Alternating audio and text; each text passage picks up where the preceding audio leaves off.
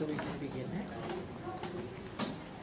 Right, we are considering future options on the parliamentary procedures as well as breaches to the constitution and standing orders after what has happened during the sitting of the House that has just adjourned.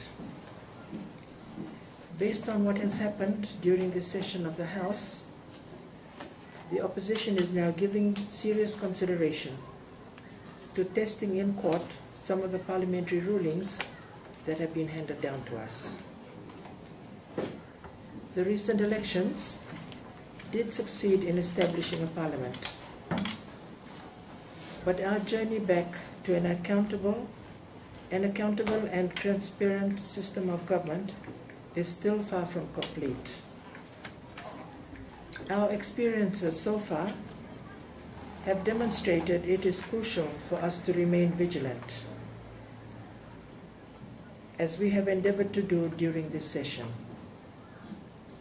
We will continue to raise points of order and objections whenever the government uses its brute majority to stray from laid down procedures and gag legitimate debate.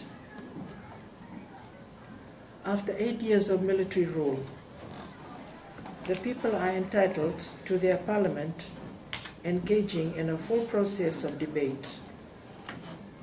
In fact, they expect it. But the government is clearly reluctant to provide the parliamentary space required for this to happen.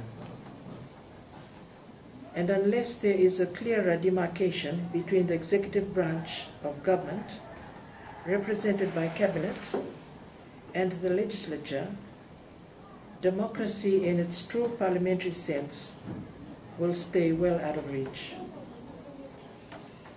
This situation will only improve if the legislature follows and applies its powers as provided in the Constitution.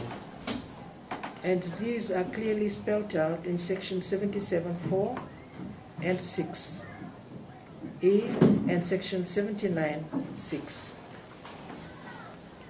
And for us from the opposition, we look forward to the legislature adopting a more independent stance in the new year to ensure the separation of powers that is an essential part of any democratic society.